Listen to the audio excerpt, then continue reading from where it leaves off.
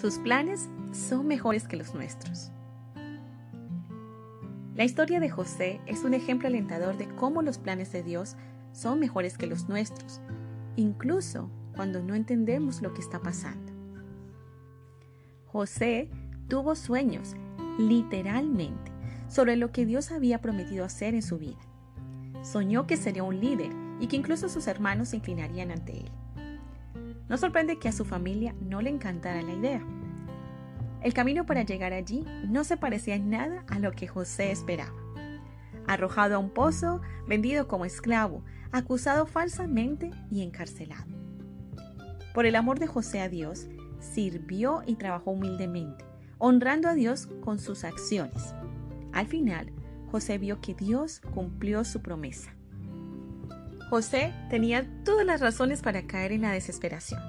Había sido vendido como esclavo por sus hermanos, acusado falsamente e injustamente encarcelado.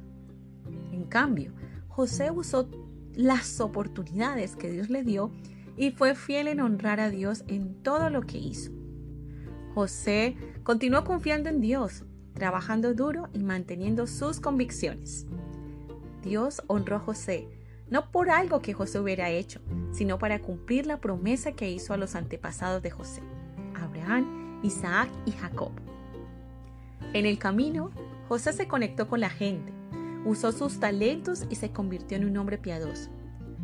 Cuando nos apresuramos a hacer realidad nuestros planes y sueños en nuestro propio tiempo, a menudo perdemos las oportunidades que Dios nos da para aprender, crecer y conectarnos. Ninguno de mis propios sueños ha sucedido de la manera que pensé que sucedería. Dios me ha llevado a un viaje sinuoso que, como el de José, ha sido para la gloria de Dios, pero no siempre para mi comodidad. Cuando nuestros sueños se sienten descarrilados, es fácil esforzarse por hacer que las cosas sucedan por nuestra cuenta. Nos escondemos de nuestras responsabilidades por decepción. Leemos un pasaje de las escrituras como este y pensamos, qué bueno para José, todo salió bien para él. Dios no solo proveyó un camino para José, Él envió a Jesús para hacer nuestra gran liberación. Dios no ha terminado de allanar un camino, una vía o un desvío que nos lleve al lugar que Él ha planeado para nosotras. Dios es fiel en usar pruebas y tentaciones en nuestras vidas, mientras nos prepara para lo que ha planeado. Toda bendición proviene de Él, y Él es fiel en recompensar la obediencia de su pueblo en su tiempo perfecto.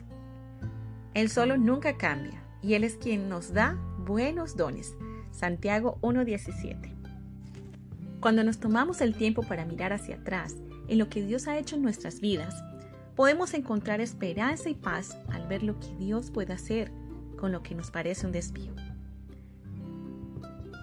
Si hizo todo esto por José, ¿qué podría estar haciendo en tu vida? es más de lo que jamás podrías imaginar.